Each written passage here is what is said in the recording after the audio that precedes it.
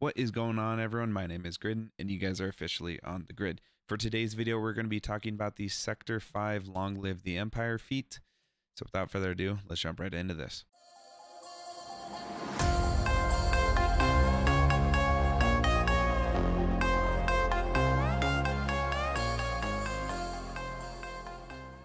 Alright guys, now if you are like me and do not have a uh, fully functioning, working uh, Imperial Remnant team, um, I did find kind of a, a, sort of sneaky way around this.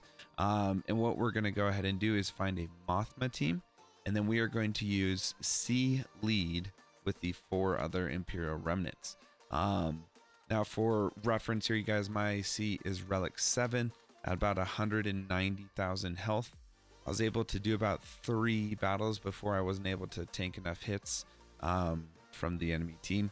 Uh, so somewhere around about 80% stamina is where I had to call it quits. So um, you could do a couple of battles a day, wait for the stamina to recharge or get a booster or whatever. But this is a way that I've uh, been able to still get that feat knocked out. So now, thankfully, there's not a whole lot that you really need to do. Uh, as soon as your C uh, takes its first turn, go ahead and link up Baze.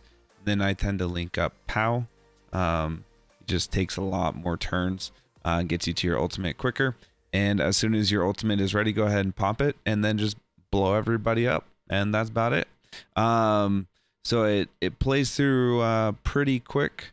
And as long as you have enough stamina to tank a few hits before your ultimate, then you could do this um, at least a few times a day.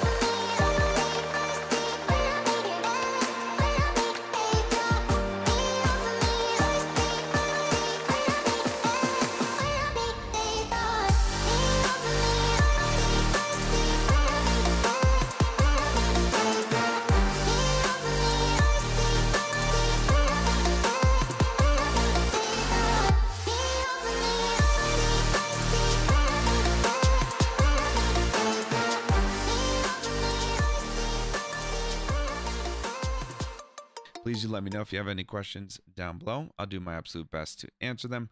Otherwise, until the next video or stream, we're going off the grid.